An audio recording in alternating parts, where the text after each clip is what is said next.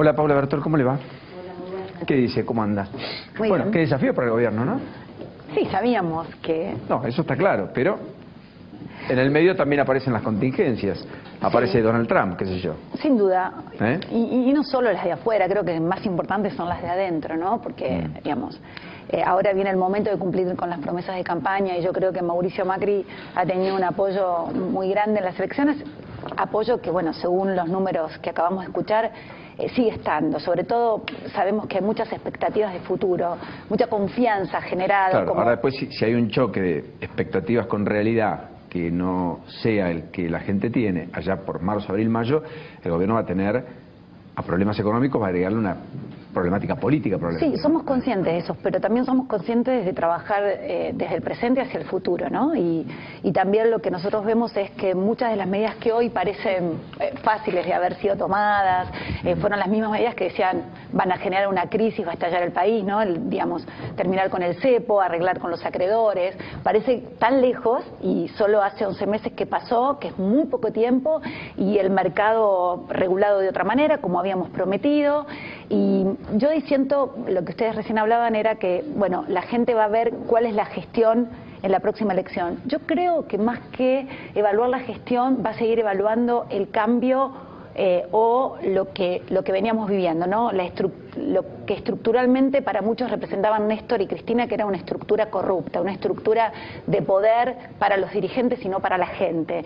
Me parece que en primer año nuestra gestión en la ciudad de Buenos Aires, que por supuesto es bien distinto, pero nosotros ya hemos vivido que cuando llegamos... eh, 2007. 2007 era como casi natural el reclamo por las obras. Muchas de ellas no se veían, porque por ejemplo las obras hidráulicas, un gran hito en, en nuestra historia fue el Maldonado. arroyo Maldonado. Eh, y a los cuatro años, una obra que tardó eso, porque la verdad es que requería ese tiempo abajo de la tierra, finalmente dio sus frutos. Entonces, nosotros sabemos que el tema de las obras en muchos lugares hay un reclamo y todavía no se están viendo, pero en otras, como por ejemplo hoy escuchábamos al gobernador de Chubut, decía, mi provincia está estallando en obras, realmente. Sí, puertos patagónicos que se están haciendo pero obras, además etcétera. infinidad de obras que tienen que ver con cloacas, con viviendas, con planes que realmente están empezando a terminarse las licitaciones. Sabemos que hubo un periodo donde ya se había parado en noviembre cuando se sabía que había ganado Mauricio Macri y otro hubo otro periodo de auditoría. Cuando nosotros llegamos nos encontramos con barbaridades, con hechos de corrupción que hoy están en la justicia y que todos los días sale uno nuevo. Eso demoró, lo que no significa que no vayan, como dije antes, a estallar la obra pública en todo el país.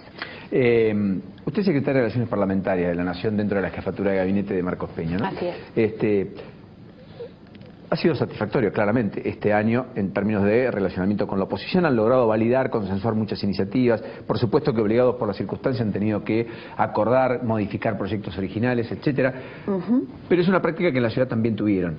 El tema es, en un año electoral, con un peronismo en ebullición discutiendo puertas adentro y altisonantemente, poder de cara al futuro. ¿Usted imagina un escenario parecido o bien distinto y mucho más complejo? Antes quiero decir que la verdad que nuestro Parlamento y en especial el oficialismo ha tenido una tarea absolutamente destacada, porque de 72 leyes, bueno, hoy se suman varias más que han sido aprobadas, eh, ha, ha habido un porcentaje enorme de las que envió el Poder Ejecutivo y todavía tenemos hasta el 30 de noviembre ordinarias y después también estamos pensando en extraordinarias. ¿Usted Siempre- cree que está tomada la decisión? Sí, está tomada la decisión. ¿Solo para hay- reforma política o No, para no, no, no, porque además eh, hoy el jefe de gabinete ha dicho que ganancias, que es una promesa que hemos hecho y que vamos a cumplir, modificar la escala, va a entrar la semana que viene y si no se llega a tratar, se va a tratar en extraordinarias y se va a aplicar después, si tampoco, digamos, llegamos a tiempo, retroactivamente el primero de enero, porque queremos cumplir esa promesa de campaña, además es un reclamo que hace toda la sociedad. Promesa de campaña que era para este año, no para Sí, el y próximo. que, y que lo vamos a terminar, eh, si llegamos con los tiempos, antes de fin de año. Lo que, lo que sí yo entiendo, porque estuve muchos años sentado en una banca en el Parlamento, que los años electorales, y, y no creo que esto sea bueno, um, rebajan la actividad política en el Parlamento. O sea, la actividad de la discusión de leyes, digamos.